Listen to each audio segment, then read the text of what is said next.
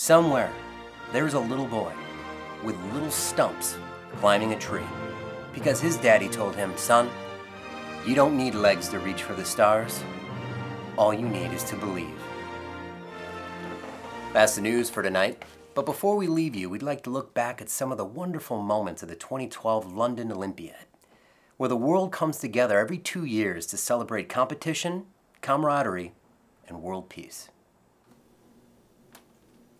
What's up, man? How are you? Hey, what is your name? I'm Seamus. Sheamus! I'm Jinwei. Come here. Hmm. Anyway, listen. I hope this is just for the first day. I have seven wives, you know? How many do you have? I Uh, none. None. None? No. Sheamus, shame on you. Their dedication and commitment is inspiring.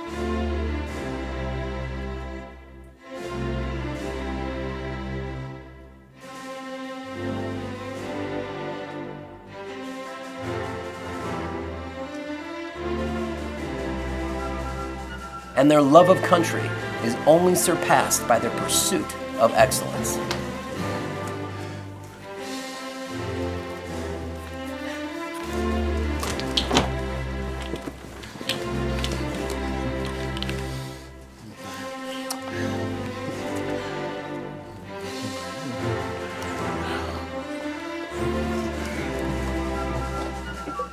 Most of us will never know what it takes to devote yourself so entirely.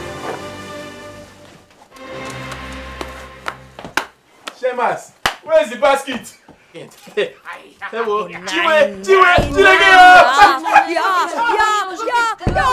has been a glorious Olympics, one that we will never forget. What your majesty? Lovely. And you, Seamus? Oh, yes, thanks. And we'll see you in Sochi in 2014.